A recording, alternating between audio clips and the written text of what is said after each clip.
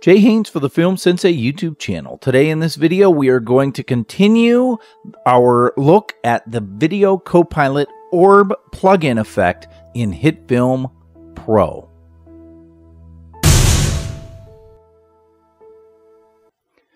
So if you have not watched the first video on this series, I would encourage you to do that first because it will show you how to get to this point where we are at now so that we can start working on building the earth in this plugin.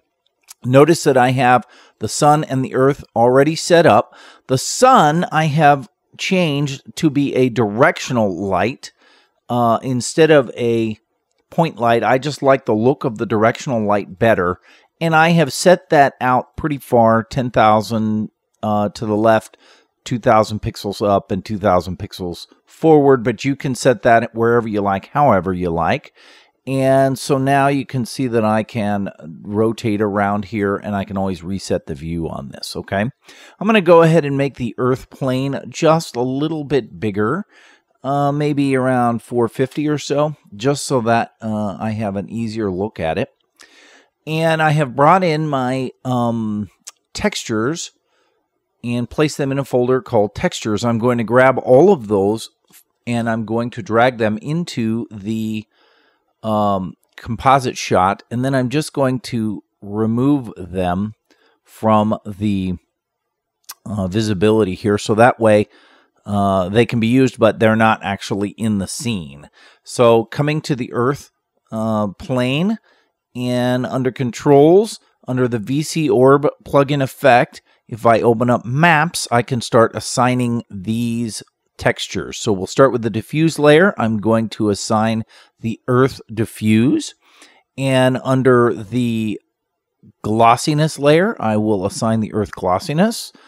And under the illumination layer, I will assign the earth illumination. And under the bump map layer, I will assign the earth normal map. And I will check use normal map.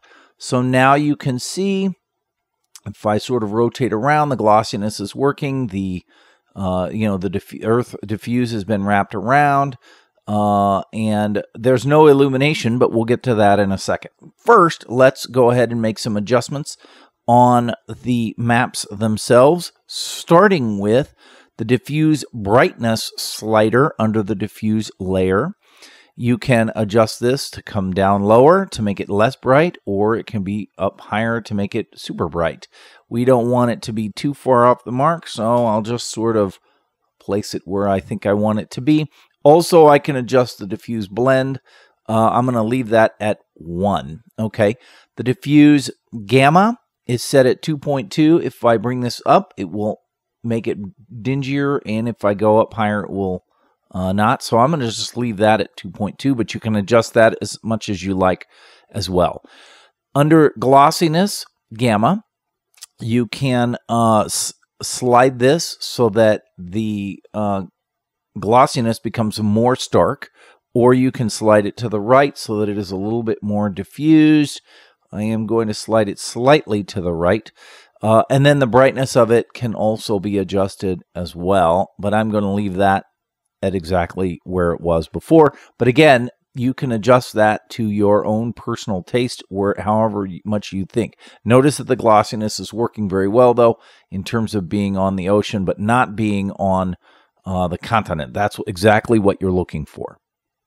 With regards to the bump map, you want to see a little bit of the, you know, the mountains and ranges here so you can adjust the bump map intensity. Currently it's set at 1. If I were to drop it down, then that would sort of go away. And if I were to increase it, then it becomes more pronounced. You don't want it to be too pronounced, so sort of adjust it to your own taste. And then if you look at the bump map fall off, what this does is basically if I slide it to the right, it will basically lose any bump map that's not in the daylight.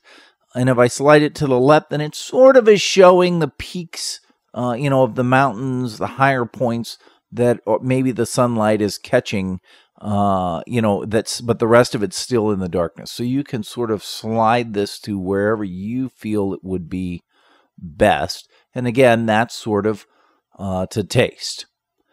Now, our next problem is we can't see any of the illumination, right? Well, that's because it's essentially turned off. So if I open up the materials property folder, you can see under illumination that it's set to zero. But if I slide this to the right, then I can turn that up and up and up and up. I'm not going to turn it up quite so high. I'm just about, you know, something like this. So you can see, if I turn it up high enough, though, you'll be able to see that illumination all over the place. We don't want to see it all over the place, just enough where you can see it on the dark side, but not necessarily on the light side. Now, you can change the color of that illumination all you want. So if I want it to be something completely different, uh, it could be something completely different. What I want to do is just um, warm it up, maybe a little bit more of an orangish color like this. Uh, but you can change that to anything that you want to your taste. Under the illumination options, you can change these settings down here. Starting with the shadow light, if I drag this to one side or the other, then you'll see that it turns it on or off. I'm going to leave that in the middle, but you can again adjust that to taste. The shadow light contrast, again, if you slide it one way or another, it will either add the lights on the right hand on the light hand side, right, as it were, or you can turn them off completely, right? If you do that and you start messing around with some of these other sliders, then it will change what you're doing. So I'm going to leave that basically uh, where it was at. Leave both of those where they were at. And the shadow light expansion will actually bring it over to one side or to another. So for example, let me come around to the back side here and let me rotate uh, my so that you can see it's it's it's nighttime in the United States, and now as uh, you know it becomes morning time, people are starting to turn off their lights, right?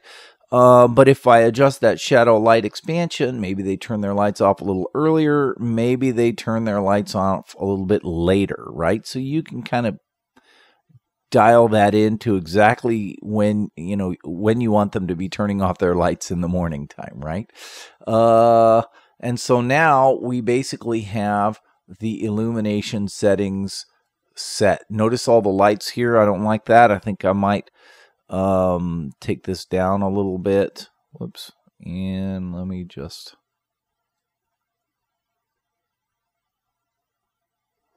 here something like this but I don't want to lose all the lights on the backside, right? So that's that's important to me.